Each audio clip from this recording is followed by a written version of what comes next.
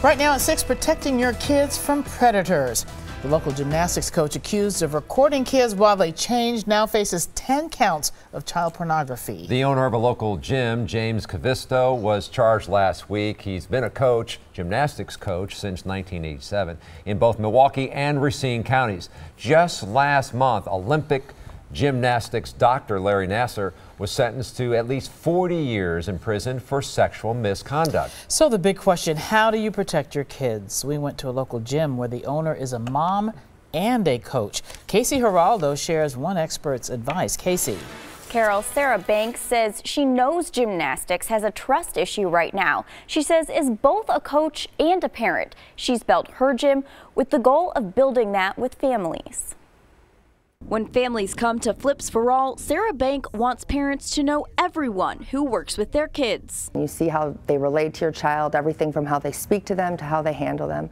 She says it's also important to know the people in charge. Who's running the gym? Who's background checking? Who's making sure that the people that work with your children are qualified? Their questions in the spotlight on a national level. Almost 200 women, including Olympians, testified about sexual abuse they endured at the hands of Dr. Larry Nassar. And locally, two coaches have gone through court for inappropriate behavior in the last year.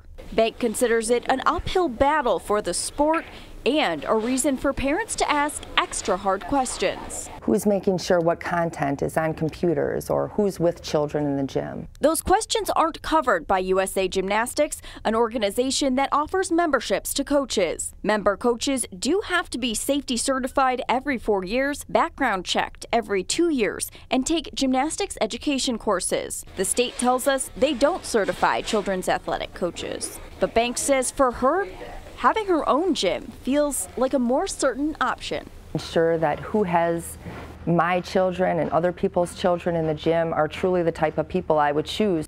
She hopes having this conversation will empower parents Banks says in the current climate, parents have to have a high standard on their own for who's working with their kids. She would like to see a licensing system put into place. And USAG does have a reporting system called Safe, Safe Sport designed to report misconduct. Yeah, you can't be cautious enough. Thank you very much, Casey.